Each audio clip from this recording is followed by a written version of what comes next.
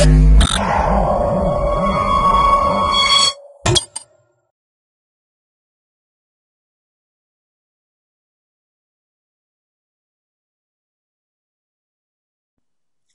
to myprojectbazaar.com. Now we are going to discuss about the product image fusion using quaternion wavelet transform and multiple features. Now we are going to discuss about the abstract for the process.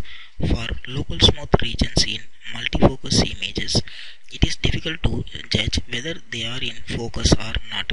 Whether using human eyes or special focus measures, we propose to classify the image into smooth and non-smooth regions based on the structural similarity index. Quaternion wavelet transform, that is the QWT, as a novel tool to image analysis has some superior properties compared to the discrete wavelet transform such as merely shift invariant wavelet transform that is this shift invariant wavelet transform is one type of transform for the transformation and phase based texture representation we use the local variant of the QWT phases to detect the focus positions of the pixels belonging to the non-smooth image regions. Thus, binary image of the left focus, right focus, and smooth regions. Examples: There are the two type of focus are obtained. Then the connected components labeling algorithm is exploited to label the two binary images containing the focus positions informations and the regions with focus measures errors are transformed between the two images. The fusion result is finally occurred through three weighted binary images combined with the original multifocus images. Furthermore, we conduct these several experiments to verify the feasibility of the proposed fusion method. The performance of SIM that is the structural similarity index is demonstrated to the superior to current method. Now we are going to discuss about the flow diagram for the process. This is the overall flow structure for the running process. At first the input image is taken from the datasets. Here the dataset is divided into two categories. The first of all, first one is the real-time data. Then the second one is the dataset images when getting the input from either from real-time or from the dataset after that the pre-processing is carried out. In this pre-processing step the image is scaling into an resize. Resize is nothing but to scaling the pixel rows and columns into an aspect ratios. Here we scaling the images into an 256 cross 256 that means in the row wise the pixels consist of the 256 pixels and the column wise the length of the pixel consists of 256 after the image scaling apply the wavelets here the QWT wavelet is applied. Then the applied wavelets is transformed into an high band and the low band. The low band consists of the four type of bands. That is considered as an band 1 band 2 band 3 and band 4 after getting these four type of low bands the image is fused by together by the coefficients of the low band. After the image fusions by the coefficients of the low band the performance is analyzed. The performance is analyzed by the four type of performance measures like SSIM, MI, then correlation, then at last time. The SSIM indicates the structural similarity index matrix, then the MI indicates the mutual information, and then the correlation and the time is also estimated. By these four parameters, we can justify the process is efficient or not.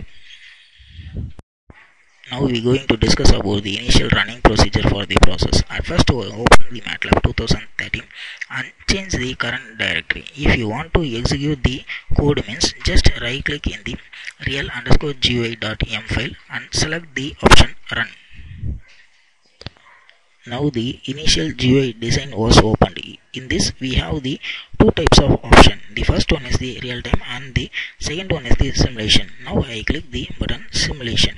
After clicking the button simulation, the original GUI design was opened. In that you can see the several push buttons in the left side for the control actions and the two axes in the right side to display the images. First of all click the input image. After clicking the button input image the dataset folder was opened automatically in the dataset you can see the several input images. Select any one image as an first image. Then the selected image is shown in the axis 1 with the title input image. Then click the button input image 2 now select the second image for the input. Then the selected image is shown in the axis 2 with the title input image 2 then click the button pre-processing. After clicking the button pre-processing the image scaling is done to resize the image into aspect ratios. Now the resized image is shown in the axis 1 and the axis 2 with the title resized image 1 and the resized image 2 now click the button apply wavelets. After clicking the button apply wavelets these four checkboxes will be enabled. After enabling these four checkboxes select one by one. Now the low band for the first image and the second image is shown in the axis 1 and the axis 2 for the for this. Then the band 2 image is shown in the axis 1 and the axis 2 like that band 3 and band 4 images are shown. Then click the button image fusion. After clicking the button image fusion the initial fusion and the final fusion checkboxes will be enabled in the initial fusions the fusion rules will be applied and the qwt wavelet will be applied to fuse the final result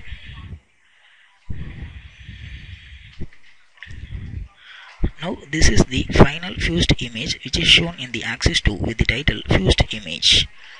Then click the button performance estimation. After clicking the button performance estimations just click the SSIM. Now the structural similarity index matrix image will be shown in the figure 2 and the corresponding value is shown in the edit box. Now click the button mutual index then entropy after clicking the button entropy, it will take some times because the entropy value for the input image 1, input image 2 and the output image will be calculated then only the entropy value will be displayed. Now the entropy value is also displayed. After that click the button correlation. Now the correlated value is shown.